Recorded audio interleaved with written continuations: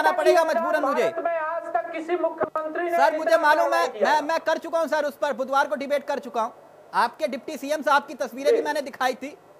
आप अपनी पार्टी के प्रवक्ताओं से पूछिएगा कितनी अच्छी तस्वीरें आई थी मुस्कुराते हुए। आपने- आपने आदरणीय मुख्यमंत्री जी पर प्रश्न किया इस नाते मैंने सर, मैंने सिर्फ़ आपसे ये पूछा कि आपके तमाम स्टार प्रचारक- जवाब देंगे। सर आपके तमाम स्टार प्रचारक वहाँ सवालों की पहुँचे आज एक नहीं दिखाई दिया। आज एक नहीं दिखाई दिया। एक नहीं दिखाई दिया। चलिए खैर, आप बताइए, साहब सुप्रीम कोर्ट ने लिस्ट मांगी है, कहाँ से लाएँगे सात विधायकों की लिस्ट? बताइए। जवाब है? देखिए, तिलक जी तिलक जी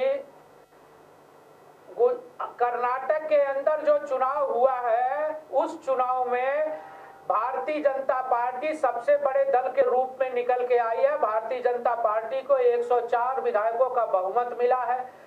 कांग्रेस पार्टी अठहत्तर पर सिमट गई। जेडीएस जो उनसे चुनाव लड़ रही थी तीनों पार्टियाँ चुनाव लड़ रही थी वो अड़तीस पर सिमट गई।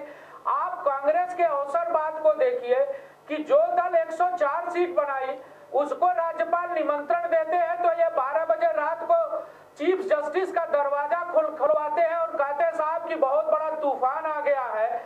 और अपने 78 सीट पाके 37 सीट वाले को समर्थन देके ये कहते हैं हम दोनों मिलकर भारतीय जनता पार्टी को रोकेंगे। डॉक्टर साहब। कहीं ना कहीं दोहरा चरित्र और एक तरह से अवसरवादिता का सही कह रहे हैं सर आप। और जहाँ तक मैं आ रहा हूँ साहब आपके पास। डॉक्टर साहब। का सवाल है डॉक्टर साहब जल्दी से बता दीजिए ना सर मुझे मेरी कंफ्यूजन दूर कर दीजिए। मैं बड़ा कंफ्यूज हो रहा हूँ। दो सीट वाले ना ना ना ना ना समझाइए सर मुझे समझाइए। दो सीट वाले को हाँ, सरकार बनाने का न्योता मिलना चाहिए। या फिर 21 सीट वाले को? नहीं नहीं नहीं नहीं देखिए संवैधानिक रूप से अगर चुनाव से पहले पोस्ट पोल और प्री पोल गठबंधन के बारे में संविधान में जो व्याख्या है राज्यपाल को ये अधिकार है राज्यपाल अपने विवेक से ये निर्णय लेते हैं सर, कि कौन सबसे सर मैंने आपसे पूछा आप सवाल का जवाब ही नहीं दे रहे। दो सीट या 21 सीट वाले को? नहीं जवाब दे रहे हैं आप। वो संविधान के बारे में आपसे ज़्यादा बिठाए सर वो आपसे ज़्यादा जानते हैं प्रोफेसर साहब इसलिए उनको निमंत्रित किया हमने। मैंने तो आपसे सीधा ये पूछा ना दो या इक्कीस? प्रोफेसर साहब है ना आपके साथ में? वो बताएँगे संविधान के बारे में आपको। आप ये आप ये तय नहीं कर सकते कि कौन संविधान के बारे में ज़्यादा जानता कौन कम जानता है। हाँ इतना ज़रूर है कि जो संवैधानिक मान्यताएँ हैं जो संविधान की परिधि है उसके डॉक्टर साहब मेरे को लग रहा है कि आप संविधान के बारे में ज़्यादा जानते हैं। राम जेठमलानी ने याचिका दायर की है जाकर उनके सामने खड़े हो जाइए और यही दलीलें दीजिए जो यहाँ पे दे रहे हैं आप। ठीक है सर? ठीक है? एक सेकेंड। आप ऐसे तिलक जी तिलक जी ऐसी बहस आपको नहीं करनी चाहिए जो मर्यादित ना हो। सर जो मर्यादित सर मैं तो आपसे पूछ रहा हूँ सवाल पूछ रहा हूँ सर। डॉक्टर साहब आप सवाल का जवाब दे दी ना सर सीधा सीधा तिलक जी अगर आप इतना जानते हो अगर आप इतना जानते हो विशेषज्ञ इतना जानते हैं तो मैं इतना जानना चाहता हूँ कि 1996 में क्या हुआ था 1988 में क्या हुआ था 1998 में क्या हुआ था 2005 और 2009 में हंसराज भारद्वाज इनके कानून मंत्री रहे हैं। मैं हाल ताज़ा में आ जाऊँ? उत्तराखंड में क्या हुआ था? 2005 में उत्तराखंड में क्या हुआ था? क्या हुआ था उत्तराखंड में गोवा में मणिपुर में क्या हुआ था बिहार में क्या हुआ था? बताइए सर। कहना चाहता हूँ कि ये ये बहस सलीके से होनी चाहिए और निश्चित रूप से संविधान की परिधि में निर्णय होना चाहिए। सर सर मैं वही आ रहा हूँ ना। एक सेकंड सर एक सेकंड। और भी मेहमान है। तारिक साहब बहुत देर से आप हाथ उठाए हुए हैं। पीड़ा हो रही है सर? और क्यों हो रही है? पीड़ा पीड़ा इसलिए हो रही है भाई कि संविधान को कुचल कर इन्होंने उसको निस्त नाबूद करने की पूरी कोशिश की है, जो अभी कंप्लीट नहीं हो पाएगी। 50 परसेंट किया इन्होंने, जो इनके आरएसएस के गवर्नर हैं, जो मोदी जी के साथ मुख्यमंत्री काल में रहते हुए उनके मंत्री भी रहे हैं, बहुत खास सेकंड नंबर पर रहे हैं। और मोदी जी से पहले जो मुख्यमंत्री थे, उनके भी ख्वास रहकर, उनसे दगा कर कर मोदी जी के साथ धोखा देकर, वो आज गवर्नर बने हुए हैं। तो उनको तो वो करना है जो मोदी जी को बोलना है वो उनके लिए आकाशवाणी है। वो भगवान की आकाशवाणी है वो मोदी जी इंसान नहीं है उनके लिए। साहब विश्वास किस पर है आप लोगों तो को वो ये बताइए ना। की बात मान रहे हैं। हंड्रेड परसेंट हम बनाएँगे। छियानवे में अटल बिहारी वाजपेयी जी ने ज़बरदस्ती शंकर दयाल शर्मा जी को धमकी देकर सरकार बनवाई थी अपनी। तेरह दिन के प्रधानमंत्री थे वो। वही हाल यहाँ होगा। उन्नीस सौ पचानवे का ज़िक्र क्यों नहीं करते? कर पाए थे। भाई वही तो कह रहा हूँ उन्नीस सौ छियानवे में जब सर मुलायम सिंह सरकार का ज़िक्र करिए ना। जब सपा बसपा ने सारे बीएसपी के विधायकों के नाम की लिस्ट भेजी थी और मायावती जी ने क्या कहा था कि मारपीट की कोशिश की गई और उसके बाद क्या हुआ था? वो भी ज़िक्र करिए। भाई एक बात समझिए वहाँ पे मेजोरिटी में हम ऑलरेडी सरकार में बैठे थे। सर, मुलायम सिंह यादव ने चिट्ठी दी थी कि नहीं दी थी? हम लोग ऑलरेडी सरकार में थे हमारी शपथ ग्रहण नहीं हुई थी। हम्म। यहाँ नई सरकार की शपथ ग्रहण कराई गई है। भाई हमने आपके पेज में नहीं बोला डॉक्टर साहब प्लीज़ हम आपको बहुत टोक सकते थे। चावला साहब मैं बीच में बोलने लगूँगा तो डॉक्टर साहब अपनी बात- अपनी बात पूरी आप जानते हैं फिर। तो वहाँ पे हमारी सरकार ऑलरेडी थी। हम्म। यहाँ पर गला घोट कर संविधान के कनपटी पे बंदूक रखकर संविधान का अपहरण कर कर ये सारा कार्य किया गया है। ये लाख कहे लार्जेस्ट पार्टी हम थे। हम भी तो कई जगह लार्जेस्ट पार्टी थे अपोजिशन भी तो कई जगह लार्जेस्ट पार्टी थी। दो विधायक होते हुए सरकार बना ली गई। बिहार में लालू जी थे क्यों नहीं उनको बुलाया गया? ठीक। आप इनका जवाब इनके पास इनका जवाब नहीं है। गाँव में क्या किया इन लोगों ने? ठीक। ठीक। ये देखिए मैं मैं उसी पर आऊँगा प्रोफेसर साहब हैं। मैं उन- उन सब नहीं, नहीं, मैं जल्दी से सैफ खान के पास जा रहा हूँ। भाई भाई पूरी बात हो लेने दीजिए सर 1998 का ज़िक्र भी करिए ना फिर। शंकर बताइए कि बीजेपी के समर्थन में बीएसपी ने जो समर्थन पत्र दिया था उसके बाद पलट गई थी मायावती जी। है ना सर? एक सेकंड मायावती ने अपना समर्थ एक सेकंड डॉक्टर हाँ, साहब। एक सेकंड एक सेकंड आ रहा हूँ तारिक साहब। सैफ खान? हाँ। सर सर कोर्ट में गए थे आप लोग दरख्वास्त करने के लिए। उन्हीं के पास गए थे जिनके ऊपर आप लोगों ने आरोप तरह तरह के लगाए। बिल्कुल। हैं सर? बिल्कुल गए थे। और वहाँ पे भी आप लोगों को झटका लगा। किस पे विश्वास है अब आपको? देखिए बहुत बहुत शुक्रिया आज तिलक चावला जी आज आपके साथ जो है फिर इंडिया वॉइस के ऊपर मौका मिला। पहली बार हमारे देश में चार सुप्रीम कोर्ट के जजेस जो है बाहर आते हैं और प्रेस कॉन्फ्रेंस करते हैं और कहते हैं कि गवर्नमेंट सरकार हमारा गला घोट रही है। ये हम नहीं ये वो खुद चार सुप्रीम कोर्ट के जजेस बाहर आए थे।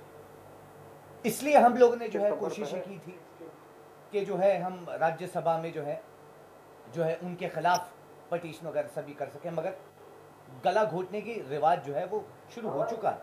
खैर बहरहाल मैं अभी दूध का दूध और पानी का पानी कर देता हूँ तिलक चावला जी। आज कर्नाटका के ऊपर जो ये बहस चल रही है मैं केवल दो तीन और प्रोविजनल कॉन्स्टिट्यूशन के लिहाज से पूछूँगा। ये पूछूँगा कि येदुरप्पा जी को गवर्नर साहब ने बुलाया और उनको कहा कि आप जो है शपथ पत्र वो कर लीजिए। उससे पहले ही भारतीय जनता पार्टी के ऑफिशियल ट्विटर अकाउंट से ट्वीट हो जाती है कि गवर्नर साहब ने जो है, उनको वो कर दिया है और सुबह जो है वो स्वेलिंग सेरेमनी जो है वो हो जाएगी। सर वो तो प्रचार के वक्त ही युद्रप्पा बोल रहे थे कि वो सीएम बनेंगे इस तारीख को बनेंगे। नहीं नहीं नहीं ऑफिशियल ऑफिशियल देखिए स्टेटमेंट क्या आता है? स्टेटमेंट आप देखिए ट्वीट क्या की जाती है? कि गवर्नर साहब ने इनको बोल दिया है। मतलब आपने उनके ऐलान करने से पहले ही ट्वीट आ जाती है भारतीय जनता पार्टी के ऑफिशियल ट्विटर अकाउंट से। हम्म। उसके बाद जब ऑब्जेक्शन करते हैं इंडियन नेशनल कांग्रेस तो उसको डिलीट कर दिया जाता है। उसको वहाँ से हटा दिया जाता है। ये प्रूव करता है कि पहले से यानी साठगांठ तो पहले से हो चुकी थी। ये तो सच्चाई। फिर आ जाते हैं अब मेन पॉइंट के ऊपर। साहब, येदुरप्पा जी को जब बुलाया था, एक सूची जमा की होगी आपने गवर्नर साहब के पास। ये प्रोविजनल कॉन्स्टिट्यूशन कहता है कि आप सिंगल लार्जेस्ट पार्टी को बुलाते हैं। और सिंगल लार्जेस्ट पार्टी जो है, एक सूची जमा करती है गवर्नर साहब के पास। जो मिनिमम आपकी जो जो बहुमत जो आप प्रूव कर सके तो आपकी 104 वाली सूची में 105वां जब नाम नहीं था तब गवर्नर साहब ने आपको ये ऐलान करने के लिए सैफ खान कैसे कोर्ट ने मांग ली है ना सूची? बिल्कुल में सुप्रीम। कोर्ट ने मांगी है।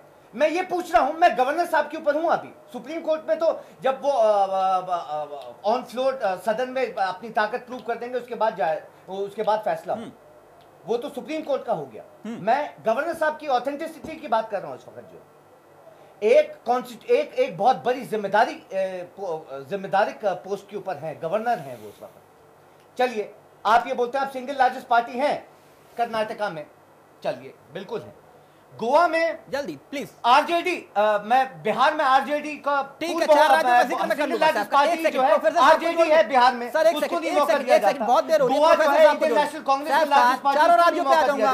चारों राज्यों पे आ जाऊँगा। जो कांग्रेस सिंगल लार्जेस्ट पार्टी उसको नहीं मौका दिया जाता। कर्नाटका में वो इसलिए डीएम की कह रही है गवर्नर हाउस का जो इस्तेमाल है वो वेस्ट जैसे तमिलनाडु में। हुआ। कार्यक्रम में जोड़ने दीजिए फिर मुझको ब्रेक लेना है। प्रोफेसर साहब सर ये हमारे लोकतंत्र की खूबसूरती है या फिर खतरे की घंटी हम इसे माने जो कुछ कर्नाटक में चल रहा है सर? सर देखिए दो तीन चीज़ें मैं इसमें कहना चाहता हूँ। इलेक्शन मैं यहाँ से अपनी बात शुरू करता हूँ। भाई इलेक्शन इसलिए होता है कि एक क्लियर कट मेजोरिटी सामने आए। लेकिन चूँकि नहीं है कोई क्लियर कट मेजोरिटी तो मैं कम से कम कर्नाटका की जनता का धन्यवाद इस बारे में दे, इस, इस, इसलिए देना चाहता हूँ क्योंकि इसी बहाने कॉन्स्टिट्यूशनल प्रोपराइटी पब्लिक मोरालिटी और पॉलिटिकल फेयरनेस पे एक बहस शुरू हो गई है। अभी जैसा कि पहले के प्रवक्ता ने कहा कि ऐसा एक संविधान में एक प्रोविज़न है कि सिंगल लार्जेस्ट पार्टी को बुलाया जाएगा। संविधान में इस प्रकार की कोई भी व्यवस्था नहीं है कि भाई सिंगल लार्जेस्ट पार्टी को बुलाया जाए या कोलिशन पार्टी को बुलाया जाए इस प्रकार की कोई व्यवस्था नहीं है। यहाँ पर तीन चार इशू है जो मैं समझता हूँ कि जिस पर बात होनी चाहिए जो कॉन्स्टिट्यूशनल है और पॉलिटिकल मोरालिटी से भी रिलेटेड है।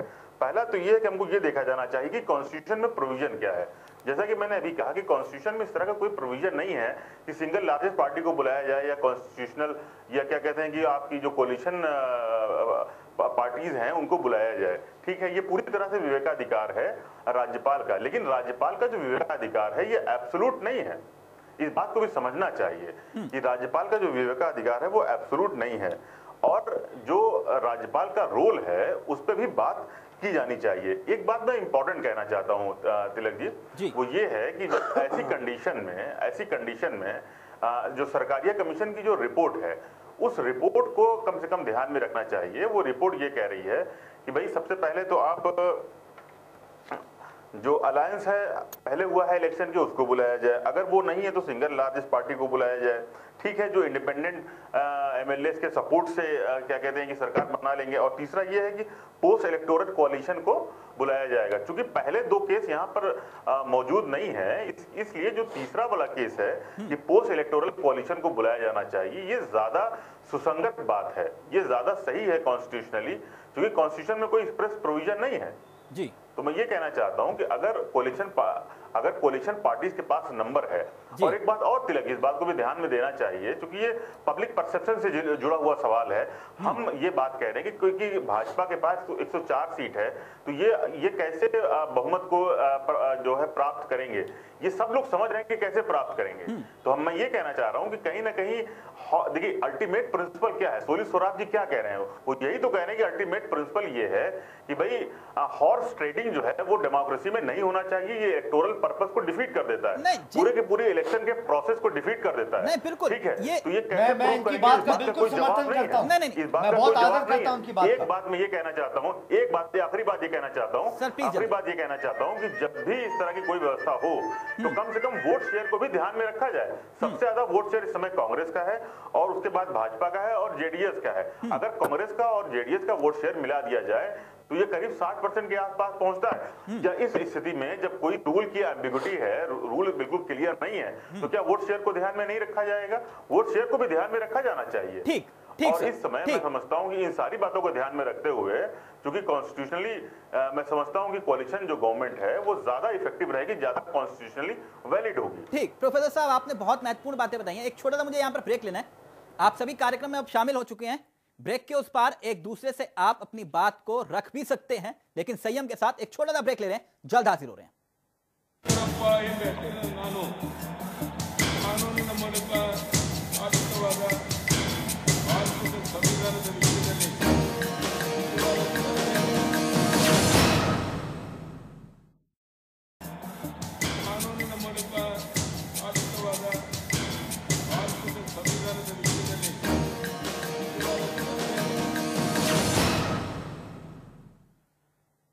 हाँ मुद्दे की बात में आज बात हो रही है कर्नाटक के सियासी नाटक की। अपने मेहमानों की और हम रुक करें, लेकिन उससे पहले एक रिपोर्ट आपको दिखाते हैं, जहाँ पर आप समझिए कि आखिरकार येदियुरप्पा कैसे सेफ़ जोन में आ सकते हैं।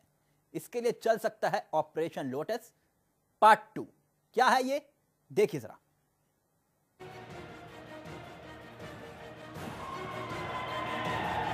क्या युद्रप्पा की शपथ के साथ कर्नाटक का सियासी नाटक खत्म हो गया? तो इसका जवाब है हरगिज नहीं। क्योंकि अब यहाँ से येदुरप्पा को अपनी सरकार बचाने के लिए आंकड़ों की ज़रूरत पड़ेगी। मगर सवाल ये कि बीजेपी के पास प्लान बचता क्या है?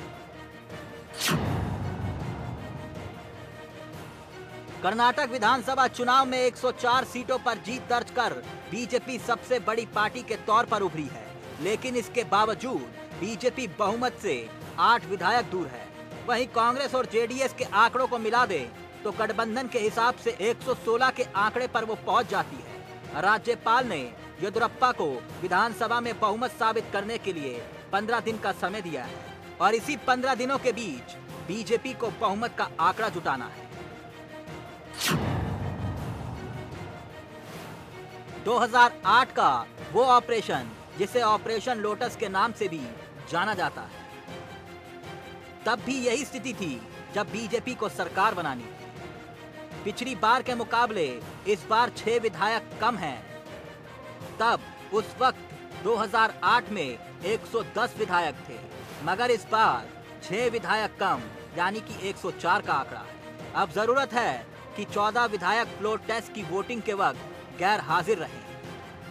तभी बीजेपी 104 विधायकों के साथ बहुमत तक पहुँच सकती है। वहीं दिलचस्प किस्सा तो ये भी है कि 2006 में अपने पिता एच डी देवगौड़ा के खिलाफ जाकर कुमार स्वामी ने बीजेपी के साथ मिलकर सरकार बनाई थी। मगर उस वक्त वक्त कुछ और था, आज वक्त कुछ और है।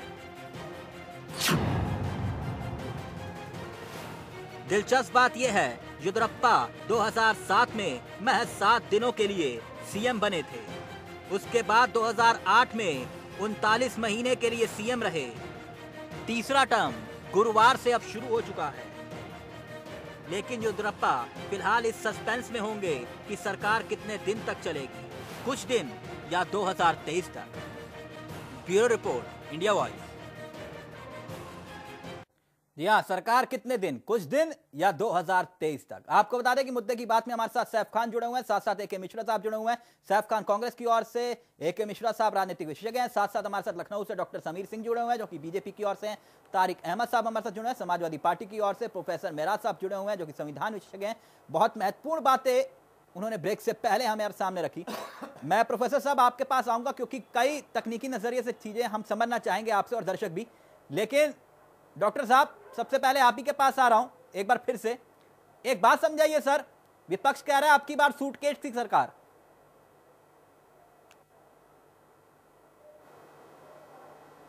डॉक्टर साहब आवाज़ नहीं आ रही होगी? चलिए सर दोबारा कनेक्ट करेंगे आ आप। गई आवाज़ आ आ गई। ना सर? सर विपक्ष कह रहा है जी जी।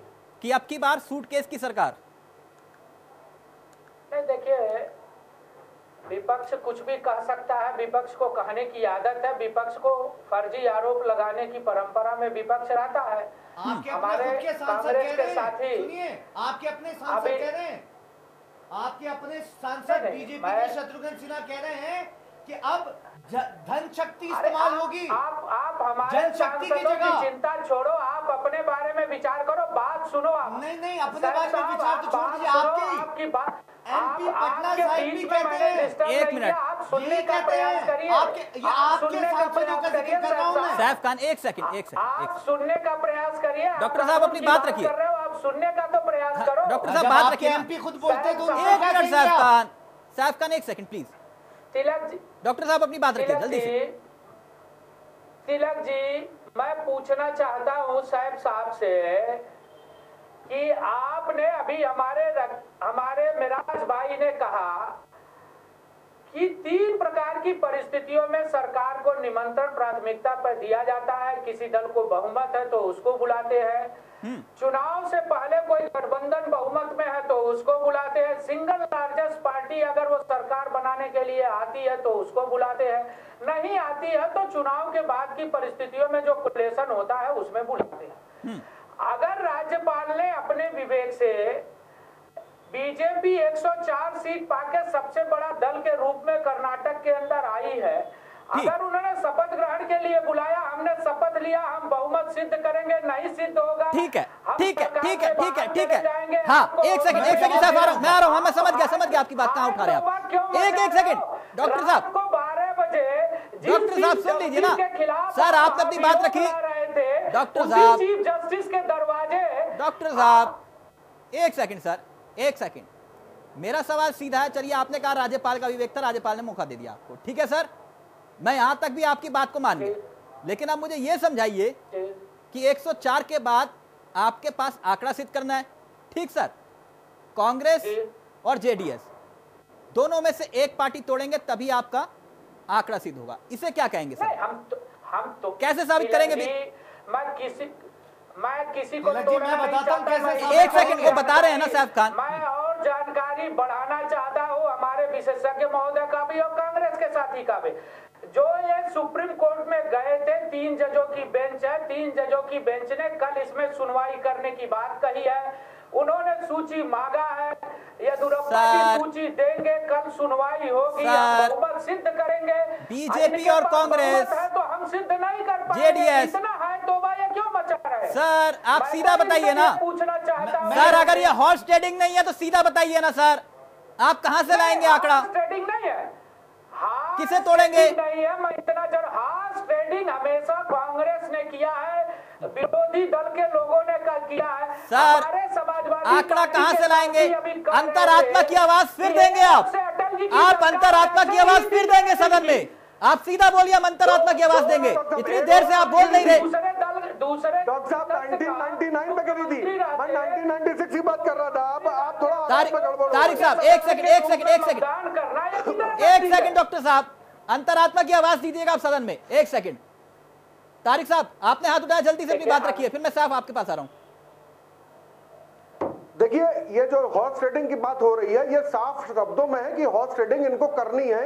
इनकी हिम्मत इसलिए बढ़ रही है क्योंकि डिमोनिटाइजेशन करके इन्होंने पब्लिक की जेब में डाका डाल के इन्होंने जो काम किया है और पब्लिक ने कोई रिवोल्ट नहीं किया तो इनकी हिम्मत उससे बढ़ गई। दूसरा, डॉक्टर साहब ने अभी गलत टाइम का वो दिया है। इनकी तेरह दिन की सरकार एक वोट से नहीं गिरी थी मेजोरिटी में नहीं थी। और तेरह दिन की सरकार विदाउट मेजोरिटी ज़बरदस्ती बनाई गई थी, जैसे यदुप्पा की बनाई गई है। और एक वोट से इनकी सरकार 1991 1999 में गिरी थी जब ना, ना, ना। अटल जी के सर आपको नहीं मालूम है? सर सर नहीं मालूम इसका सर तारिक साहब। तारिक साहब। मैं- तारिक साहब एक एक सेकंड नहीं नहीं नहीं। राजनीति आए तारिक- मालूम नहीं है। तारिक साहब। बहुत ज़्यादा नहीं आपने अटल जी की बात कही। सर आपका राजनीतिक ज्ञान ज़्यादा है ना? अब अब बात खत्म करिए इधर इधर सुनिए सुनिए सुनिए। मुख्यमंत्री रहते गोगोई ने जिस प्रकार से लोकसभा में जाके एक वोट से सरकार गिराई थी क्या अरे क्यों आपको? देगा आदमी वोट भाई? समाजवादी एक सेकेंड डॉक्टर साहब। देगा? जिसने डॉक्टर साहब, एक सेकंड। लेने के बाद गेस्ट हाउस के अंदर हत्या तक करने की बात अरे आप लोगों ने तो विधानसभा के अंदर हत्या कर रहे थे। मोदी में बैठ के सरकार बनाने अरे कल्याण सिंह कल्याण सिंह की पार्टी मायावती की हत्या कर रही थी एक सेकंड एक। सेकंड एक सेकंड एक सेकंड ऐसे नहीं होगा प्लीज़ ऑडियो नीचे करिए। आप लोगों ने मार दिया तो तारिक साहब मुझे मजबूर कर रहे हैं डॉक्टर साहब मुझे मजबूर कर रहे हैं। मैं नहीं चाहता कि आप लोगों का ऑडियो ऐसे नीचे हो। मैं नहीं चाहता सर। प्लीज़ लेकिन फिर भी अगर आप लोग ऐसे करेंगे तो फिर संभव नहीं है मेरे लिए। प्लीज़ सैफ खान तिलक ये ये जो स्थिति है इस वक्त जी। कांग्रेस ने तो अपने सामने सब कुछ जाते हुए एक बार फिर से देख लिया जैसे गोवा में गया। तिलक जी बात ये है कि सिंगल लार्जेस्ट पार्टी डॉक्टर साहब नहीं जा रही आप लोगों की आवाज़ होने यार। एग्जांपल जिस जिस साहब, अपनी बात पूरी करिए, पूरी तरह। कर्नाटका में जो ये बोलते हैं कि सिंगल लार्जेस्ट पार्टी है उसको इनवाइट करना चाहिए। जैसे हमारे प्रोविजनल एक्सपर्ट यहाँ पे बैठे हुए हैं उन्होंने बहुत अच्छी बात की अभी इस वक्त कि ये जो है गवर्नर के ऊपर डिपेंड करता है कि वो सिंगल लार्जेस्ट पार्टी है या बहुमत वाली दो पार्टी जो हैं जिनको साथ में मिलके जो है अगर वो हम्म। बहुमत सिद्ध कर पा रही हैं तो उनको जो है मौका मिला जाता है। मैं बहुत इंपॉर्टेंट पॉइंट यहाँ पे रेस करना चाहता हूँ जो मैं चाहता हूँ कि जनता भी इसके ऊपर जो है बहुत बारीकी से जो ध्यान दे। पहला पॉइंट जो है 104 की एक सेकंड सैफ खान एक सेकंड प्लीज़ प्लीज़ डॉक्टर साहब एक मिनट ऑडियो उठाइएगा डॉक्टर साहब की। तारिक साहब। सारे क्रिमिनल तो आपके वहाँ डॉक्टर सर और बात हमसे सर रहे सर एक सेकंड एक सेकंड। सूप हंसे तो हंसे चल नहीं बोले ज़्यादा। अंतर छेद और समाज ये तो सर देवरानी जेठानी नहीं नहीं नहीं। सर लगा सर ये सास बहू का सीरियल नहीं चल रहा है। एक सेकंड एक सेकंड सैफ खान एक सेकंड प्लीज़ सर ये सास बहू का सीरियल नहीं चल रहा। आप दोनों अपनी अपनी पार्टी को रिप्रेजेंट कर रहे हैं यहाँ पर और मैं चाहूँगा कि कम से कम उदाहरण बनकर सामने रखे जनता के। ऐसा ना हो कि जनता भी कहे कि भैया हमारे कैसे नेता हैं। प्लीज़ प्लीज़ सैफ अपनी बात रखिए। जी 104 की बात सूची में एक बात कह रहा हूँ मैं- तारिक साहब प्लीज़ सर सर मैं आऊँगा आपके पास प्लीज़ मैं अपने सपा के आपके आपके गठबंधन के सहयोगी बोल रहे हैं। केवल लीजिए। चाहूँगा। तारिक साहब सुन लीजिए। आपके गठबंधन के सबसे मुख्य सहयोगी बोल रहे हैं। रहे हैं तो हम पद की गरिमा नहीं संभालेंगे। एक सेकंड मैं, तारिक साहब सेकंड। सपा के दोस्त से चाहूँगा कि कुछ मुझे अनइंटरप्टेड कुछ कुछ मौका दिया जाए मैं अपनी बात कंप्लीट कर लूँ। 104 की सूची की बात हो रही है जो कल जमा होगी सुप्रीम कोर्ट में और सुप्रीम कोर्ट उसे जब तक आउट नहीं करेगा जब तक फ्लोर टेस्ट नहीं हो जाएगा। ये प्रोविज़न कहता है। आप ये कंफर्म कर सकते हैं कि जब तक फ्लोर टेस्ट नहीं हो जाएगा फ्लोर टेस्ट की मौका जो दिया जा रहा है आज आज यानी गवर्नर साहब ने जो मौका दिया है पंद्रह दिन का भारतीय जनता पार्टी को साफ़ साफ़ है और जिसका सबूत कि आप खरीद फरोख करें सौ सौ करोड़ रुपए जेडीएस और कांग्रेस के विधायकों को ऑफ़र दिया जा रहा है कि आप यहाँ पे हमारी पार्टी ज्वाइन कर उत्तराखंड में सौ करोड़ का मतलब खान, उत्तराखंड में आपको मौका मिला था? कोर्ट ने मौका दिया था दोबारा से सौ करोड़ का मतलब आठ सौ करोड़ उत्तराखंड में मौका मिला था आपकी सरकार को, हरीश रावत की सरकार को। जो टैक्सों में हमारी जनता का इस्तेमाल होता है खान, कोर्ट पे भरोसा है? जाएगा या तोड़ने कोर्ट गए आप कोर्ट गए आप कोर्ट पे भरोसा है बिल्कुल है है ना सर? उत्तराखंड में आपको मौका मिला था? मगर मैं एक चीज़ मैं मैं हम तो जा रहे हैं कोर्ट कोर्ट नहीं जाएँगे तो क्या करें फिर आप मुझे बताइए आप बताइए हमें कि सिंगल लार्जेस्ट पार्टी हम गोवा में मणिपुर में होते हुए भी आरजेडी बिहार में होते हुए भी और कर्नाटका में आप ये देखिए बहुमत हम दोनों को होते हुए भी। सरकार बनाने की परमिशन जो है गवर्नर नहीं देते हैं। ए- ए- कोई एक- ऐसा कॉन्स्टिट्यूशन नहीं है एक सेकंड डॉक्टर साहब के मैं आ रहा हूँ मॉनिटर मिश्रा जी आप ही के पास आ रहा हूँ। आप एक एक मिनट एक मिनट। डॉक्टर साहब डॉक्टर साहब की ऑडियो खोलिए। सर मैं आपको पूरे दो मिनट देता हूँ। कंटिन्यू बोलिए एक मिनट का- बोलिए डॉक्टर साहब। प्रोफेसर साहब आ रहा हूँ। दो मिनट बोलते रहिए डॉक्टर साहब। एक सेकंड सर आप दिल खोलकर बोलना चाहते हैं तो बोलिए। बोलिए सर आप। कोई बीच में नहीं बोलेगा प्लीज़ मेरी दरख्वास्त है। बोलिए आप। तिलक जी मैं इतना कहना चाहता हूँ कि भारतीय जनता पार्टी के ऊपर जो आरोप लग रहे हैं वो आरोप निराधार है। सैफ जी जिस नैतिकता की बात कर रहे हैं बारह बजे रात को सुप्रीम कोर्ट का दरवाज़ा चीफ जस्टिस का खटखटा रहे थे वही चीफ जस्टिस के खिलाफ महाभियोग लाए और मैं उनसे पूछना चाहता हूँ कि 2009 में हंसराज भारद्वाज जी ने कर्नाटक में क्या किया था? 2005 में सिप्ते रज़ी जी ने झारखंड में शिबू सोरेन को शपथ दिला के वो सरकार नहीं बन पाई, बाद में बीजेपी की सरकार बनी। 2000 उन्नीस में रमेश भंडारी ने उत्तर प्रदेश में कल्याण सिंह की सरकार बर्खास्त की थी। मैं पूछ रहा उन्नीस सौ अट्ठासी में महाराष्ट्र के अंदर पी वेंकटेश सुबमैया ने क्या किया था? उन्नीस सौ छियानवे में गुजरात में कृष्णपाल सिंह जी राज्यपाल थे। गुजरात के उन्होंने क्या किया था अब मैं इनसे पूछना चाहता हूँ कि सबसे बड़े दल को निमंत्रण देना क्या अपराध है क्या नैतिक नहीं है हो गया इस पर तूफ़ान क्यों मच रहा हो गया? नहीं सिद्ध कर पाएँगे हम सरकार से डॉक्टर साहब, हो गया आपका? डॉक्टर साहब, हो गया आपका? चाहता हूँ जिन्होंने इतना बड़ा पाप किया देश के अंदर संविधान एक सेकंड साहब, इतना सहयोग किया, एक सेकंड। देश के अंदर राजनीतिक मर्यादाओं को तोड़ा वो आज हमको नैतिकता की बात सिखा रहे हैं हम्म। एक बार उनको अपने बारे में विचार करना चाहिए हो गया सर? अभी आप और कुछ बोलना चाह रहे हैं। अनैतिक पार्टी के लोग एक सेकंड तारिक साहब एक सेकंड सर। एक सेकंड एक सेकंड। हो गया डॉक्टर साहब? हो गया सर? जी। किस नैतिकता की आप बात कर रहे हैं? गोवा में कहा चली जाती है आपकी नैतिकता? उत्तराखंड में कहा जाती है? मणिपुर में कहा जाती है? बिहार में कहा जाती है नैतिकता आपकी? कहा जाती है नैतिकता फिर? गोवा में कांग्रेस ने अपना दावा भी गोवा नहीं में किया था, चालीस विधानसभा सीटें कांग्रेस के पास सत्रह विधायक बीजेपी के पास तेरह विधायक। ये कौन सा बहुमत था आपके पास फिर? भी नहीं पेश किया था तिलक दावा पेश- की सरकार सर, चल सर, आप कह रहे हैं ना? चल रही है। आप- अब हो गया हो गया हो गया। एक मिश्रा एक सेकंड एक सेकंड एक सेकंड एक मिश्रा ऐसा क्यों महसूस हो रहा है? एक सेकंड टूट नहीं हुई। अब अब नहीं होगा प्लीज़ ऑडियो नीचे करिए। बहुत मौका दे दिया मैंने आपको डॉक्टर साहब। ऐसा नहीं होगा प्लीज़ तिलक जी देखिए। मिश्रा साहब मिश्रा साहब मेरा सवाल सुन लीजिए। ऐसा क्यों महसूस हो रहा है पूरी डिबेट के अंदर कि अब बीजेपी ने बैठे बिठाए कर्नाटक का जो मुद्दा थाली में परोस कर कांग्रेस को दे दिया है, ऐसा क्यों महसूस हो रहा है? नहीं, तिलक जी, देखिए, यहाँ पे सोचने वाली बात यह है 2014 में और ऑनवर्ड्स उसके बाद जो इलेक्शन हुए हैं, बीजेपी का उद्घोष वाक्य, जो मूल मंत्र था, वो नैतिकता ही था, और इन्होंने, देखिए, आपका पहला प्रश्न जो आपने पूछा, वही आपके सारे प्रश्नों का जवाब है, किसी ने हाथ नहीं उठाया, सबने पत्थर मारे हैं हाँ। तो इनका जो मुद्दा था, जो सारी चीज़ें थी, ये जो सत्ता में आए थे कि भाई हम बड़े नैतिक हैं इन कंपेरिजन ऑफ़ अदर यहाँ पे देखने वाली बात यह है कि दो चार साल में नैतिकता क्या है, वो दिख गई है।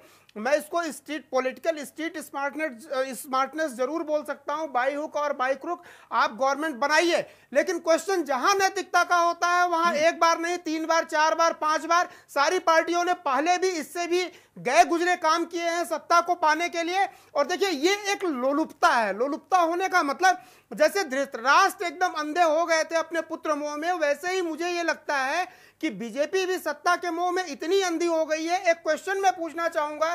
सारे राज्यों में आपकी सरकार है सेंटर में आपकी सरकार है तो केवल कर्नाटक के लिए आप क्यों नहीं त्याग कर सकते हैं? आप ही बोल दो कि भाई चलो आप पहले सरकार चला करके देख लीजिए। तो ये दिखाता है कि सत्ता के लिए कितनी लोलुपता है और तीनों दलों की है। मैं कांग्रेस और जेडीएस का भी बोलूँगा कि इलेक्शन के पहले तक जो एक दूसरे के कट्टर दुश्मन बने थे और 36 का आंकड़ा था वोटिंग होने के बाद 10 मिनट के भीतर दोनों लोग ऐसे मिल गए अपनी मतलब सत्ता की लोलुपता के कारण और अपने आप को बचाने के लिए।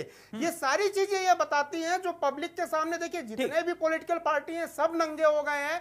आप इसको लोकतंत्र बोलेंगे मैं बोलूँगा ये सत्ता का लूट तंत्र में पर ये हमारा जो लोकतंत्र है ना सत्ता का लूट तंत्र में परिवर्तित हो गया है। एक सेकंड एक सेकंड सैफ आ रहा हूँ आपके पास। प्रोफेसर साहब मैं कुछ बातें और हमारे दर्शक समझना चाहेंगे। अब ऐसी स्थिति में सर मैं मेरा सवाल सुन लीजिए। ऐसी स्थिति में विकल्प क्या बचता है येदियुरप्पा के पास? किस तरह से वो फ्लोर टेस्ट पास कर सकते हैं और कांग्रेस के पास क्या विकल्प बचता है? पहले येदियुरप्पा का ज़िक्र कर ले सर।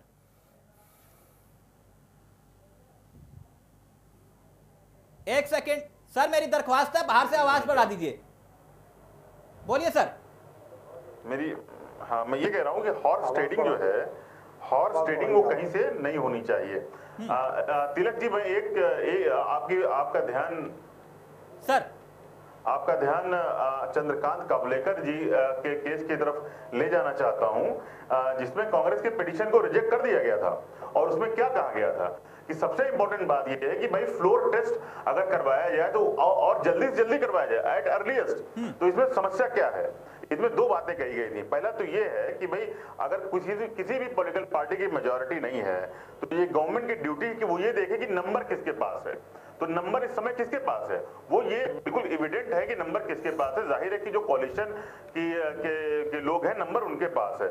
और दूसरी बात ये है कि अगर कोई आ, नहीं आ रहा है जिनके पास नंबर है उस केस में सिर्फ़ सिंगल लार्जेस्ट पार्टी को बुलाया जा सकता है। ये आपका जो कवलेकर केस है उसमें ये बात कही गई थी। दूसरी बात जैसा कि अभी डॉक्टर साहब ने कहा एक जो मैंने सरकारी कमीशन की बात किया था उसको आगे बढ़ाते हुए सर ने कहा जैसा कि मैंने कहा था कि पहले तो अलायंस जो इलेक्शन से पहले फॉर्म हो उसको बुलाया जाए। यहाँ पर वो स्थिति नहीं है। फिर मैंने कहा कि जो ये सरकारी कमीशन की बात कर रहा हूँ मैं कि ऑर्डर ऑफ़ प्रेफरेंस जो इसमें दी गया था तो उसके बारे में बात कर रहा हूँ कि single largest party with the support of independent वो भी कंडीशन यहाँ पर नहीं है कोई इंडिपेंडेंट कैंडिडेट नहीं है। अगर हो तो वो उसको सपोर्ट करके भी इनका नंबर 112 या जो भी क्लियर कट मेजोरिटी है वो नहीं हो पाती है।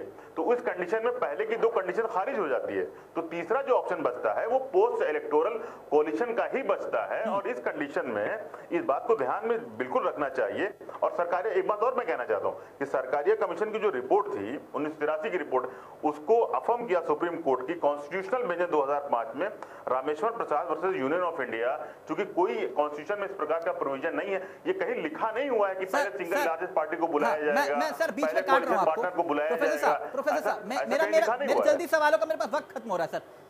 युद्रप्पा के पास विकल्प क्या बचते हैं और कैसे वो अपना बहुमत सिद्ध कर सकते हैं? क्या है रास्ता?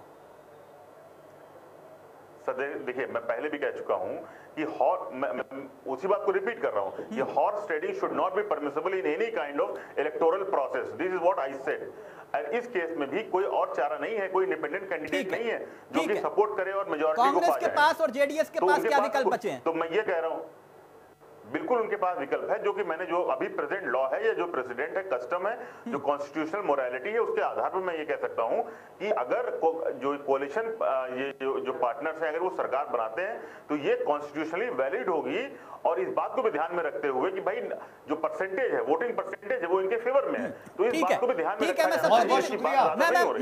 सर। आपकी बात समझ गया। बीस बीस सेकंड दूँगा सबको लेकिन कुछ बयान सुना दूँ पहले तीन बयान। आ रहा हूँ, तारिक साहब आप ही के पास शुरुआत करूँगा। एक सेकंड आ रहा हूँ सर तीन बयान सुना रहा हूँ, जल्दी से आपके पास आ रहा हूँ। ये तीन बयान सुनिए और फाइनल कमेंट सभी से बीस बीस सेकंड ये सुनिए जरा तीन बयान। गवर्नर का पद है, वो पूरी तरह से समय समझता हूँ कि राजनीतिक हो चुका है। वरना हमारे पास इस तरह के उदाहरण हैं, जैसे गोवा मणिपुर, मेघालय।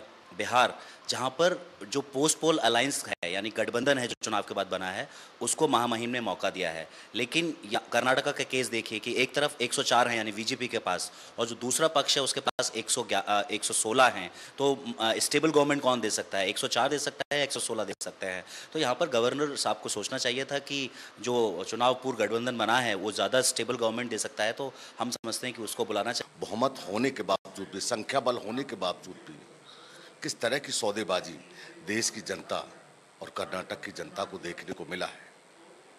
मर्यादित आचरण आदमी करता है मगर संविधान में बैठे लोग और संविधान की शपथ लेने वाले लोग जब इस तरह का आचरण करते हैं तो देश की जनता माफ़ नहीं कर सकती है। आज निश्चित तौर पर संविधान की हत्या हो गई है लोकतंत्र की हत्या हो गई है। उन्नीस में इमरजेंसी लगा करके संविधान की, हत्या किसने की थी? क्या वो ये भूल जाती हैं जब उन्नीस में देवीलाल जी की सरकार को तपासे ने बर्खास्त कर दिया था और उनको मौका नहीं दिया था और वहाँ पर जो है दूसरी सरकार को मौका दे दिया था। चलिए जल्दी से 20 20 सेकंड सबको। तारिक साहब, आपसे शुरुआत कर रहा हूँ। आपको नहीं लगता कि जब इतना त्याग कांग्रेस ने किया है तो फिर एक और त्याग करके 2019 की ओर ध्यान दे तो ज़्यादा बेहतर होगा, ताकि एक और त्याग के लिए उदाहरण मिल जाए। गठबंधन भी मज़बूत होगा इससे। देखिए एक बात समझिए हम लोगों ने तो अपना काम कर दिया है। अब वहाँ पे विधायक लोग अपना काम करेंगे। दूसरा ये नैतिकता की बात करते हैं। तो जब हम जो बात कर रहे हैं उसको बहुत गंभीरता से लीजिएगा। जब पीडीपी हम लोगों के साथ आती थी तो उसको आतंकवादी पार्टी ये बोलते थे आज पीडीपी इनके साथ है तो वो आतंकवादी नहीं है वो सबसे बड़ी देशभक्त है। इन्होंने पहले इलेक्शन से पहले अलायंस की बात की थी कि आपने पहले क्यों नहीं अलायंस कर लिया? मैं पूछ रहा हूँ कि आपने इलेक्शन से पहले बिहार में नीतीश से अलायंस आपका टूट गया था फिर बाद में आपने क्यों सरकार बनाई? और आपने पीडीपी के साथ मिलकर क्यों अभी सरकार बनाई इलेक्शन के बाद? ये आप अपने गिरबान में भी झाक कर देखिए। दूसरा एक मिनट सर। यू मजबूर हूँ यूँ हुए मजबूर वो महबूबा महबूबा के प्यार में। यूँ मजबूर हुए वो महबूबा के प्यार में। रख दिया हथियार। दिल्ली वाले यार ने इस समय ये पोजीशन है इनकी। सर सर उ- फिर चर्चा कर लेंगे सीज फायर पे। ठीक है सर। हाँ हो गया आपका हो गया हो गया तारिक साहब हो गया हो गया हो गया। सैफ खान आपको लगता कि एक और उदाहरण अगर पेश कर दिया जाए तो 2019 में बीजेपी के सामने मजबूरी हो जाएगी? दिक्कत खड़ी हो सकती है। देखिए बीजेपी के सामने मजबूरी खड़ी होनी तो शुरू हो ही गई। है बार बार। जल्दी से। तो अब कहीं पे भी किसी भी स्टेट में पूर्ण बहुमत जो है वो बहुत मुश्किलों से मिल पा रहा है ज़्यादातर तो ऐसी स्टेटें हैं इनकी जहाँ पे वो बात आज आज जो हो रही है मेन जो है वो ये है कि कॉन्स्टिट्यूशन का अभी जो एक्सपर्ट है उन्होंने ये बताया है कि कॉन्स्टिट्यूशन का जो है गला घोटा जा रहा है और ये एग्ज़ाम्पल दिया है कि खरीद फरोख होगी। और ये एग्ज़ाम्पल है जो विधायक आ रहे है, हैं जेडीएस के। ये एग्ज़ाम्पल है। कांग्रेस के जो कह रहे हैं। सौ करोड़ जो है ऑफ़र की जा रही मिनट बीस सेकंड जल्दी जनता का देखिए है चावला जी मैं आपको बता दूँ गुजरात इलेक्शन के बाद मैंने एक टीवी पे स्टेटमेंट दिया था no more clean sweep for BJP उसके बाद से बीजेपी क्लीन स्वीप नहीं कर पाई। अल्पमत में मतलब पूरा बहुमत नहीं ले पा रही। रही बात आपका एक क्वेश्चन बड़ा जेन्यून था कि सारी पार्टियों के पास ऑप्शन क्या है? देखिए फ्लोर टेस्ट तो होना ही होना है। इसमें कांग्रेस और जेडीएस के पास ये है कि अगर आप अपने एक एक विधायक को फेविकॉल की बॉन्डिंग देकर के अपने साथ रख सकते हैं तो बीजेपी का सारा मिशन फेल हो सकता है। और बीजेपी सात दिन पंद्रह दिन मिल गए नहीं नहीं पंद्रह दिन की ही मैं बात कर रहा हूँ जब तक नहीं होता है। यहाँ पे देखिए बीजेपी क्या है अगर बीजेपी ने ये कदम बढ़ाया है तो डेफिनेटली वो उसको मुकाम तक पहुंचाना चाहेगी। हॉर्स ट्रेडिंग वो कभी इसको नहीं बोलेगी एक्सेप्ट नहीं करेगी वो बोलेगी कि लोग खुद मोटिवेट होकर के आए हैं। ठीक है ठीक है। ए- एक फाइनल कमेंट आपका डॉक्टर साहब सीबीआई दिलाएगी बहुमत? जी। सीबीआई दिला देगी आ रहा प्रोफेसर साहब आपके नहीं दिलाती सीबीआई। मैं ज़रूर सैफ जी को इतना कहना चाहता हूँ कि सैफ जी नैतिकता की बात कर रहे हैं। सर मेरे सवाल का जवाब दीजिए ना। आप सैफ जी और तारिक जी की तरफ़ चले जाते हैं। मैंने कहा सीबीआई जीत दिलाएगी बहुमत दिला देगी। सौ बार गला घोटा सौ बार लोकतंत्र की महाराज, देश के अंदर नहीं बताएँगे डॉक्टर साहब। कांग्रेस ने सौ नहीं बताएँगे डॉक्टर साहब, मैंने कहा CBI बहुमत दिलाएगी। ना इनकी नियत है नहीं बताएँगे नहीं बताएँगे मुझे मालूम था नहीं बताएँगे आप। यूपीए की सरकार लेती है। आप पिछली सरकार कौन होते रही है आप जो है? प्रोफेसर साहब बीस सेकंड। सर कुछ इंपॉर्टेंट आप कहना चाह रहे बीस सेकंड। हो गया हो गया डॉक्टर साहब प्लीज़ आप नहीं प्लीज़ हो गया हो गया बीस सेकंड हो गया। हो। गया डॉक्टर साहब।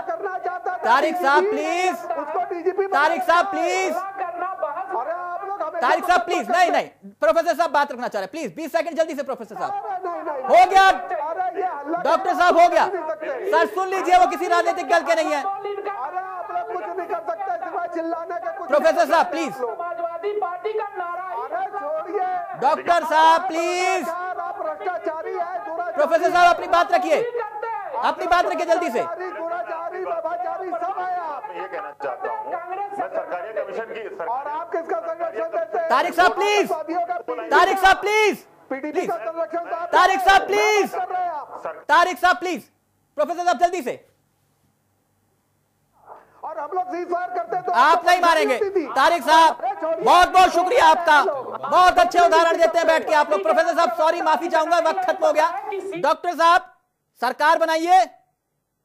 लोकतंत्र बचाइए। बहुत बहुत शुक्रिया आपका। सैफ आपका भी बहुत बहुत शुक्रिया। के मिश्रा साहब आपका भी बहुत बहुत शुक्रिया। प्रोफेसर साहब एक बार फिर से माफ़ी आपके पास नहीं आ पाया। वक्त खत्म हो गया। बहुत बहुत शुक्रिया आप सभी मेहमानों का। लेकिन मुद्दे की बात यह कि आखिरकार दूध का कौन धुला है? अब ये तय आप करिए, क्योंकि बात हमने यही कही थी, पत्थर वही मारेगा, जिसने कभी अपराध ना किया हो। मुद्दे की बात में मेरे साथ इतने कल फिर हाजिर होंगे, कुछ ऐसे मुद्दों के साथ मुझे दीदी नमस्कार, जय हिंद, जय भारत।